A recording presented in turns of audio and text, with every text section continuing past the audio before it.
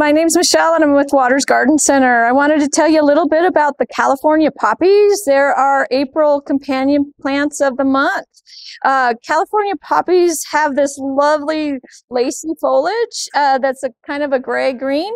Um, they come in a variety of colors from deep orange to reds, yellows, whites. Um, this one here is a chiffon. Um, it it has multicolor. It's in a six pack, so I have a variety of different sizes for you to choose from. Um, just a really quick tidbit on these. Um, if you are trying to keep them, uh, they are an annual, so they will not come back, but they do reseed themselves. So this here is actually a bud that is fixing to pop into bloom. So this is what you're looking for as far as buds go.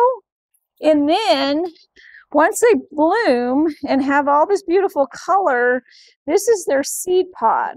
Um, and this is where your next year's crop comes from. So for the first couple of weeks, go ahead and deadhead them. That keeps them blooming constantly. Um, as these dry out, these will reseed themselves in your yard. So if you want to keep them, let them dry out some, but as soon as you see them start to crack, go ahead and cut them, and then you can replant them somewhere else in your yard. If, if you like what you've seen, check out YouTube and Facebook. We're on both.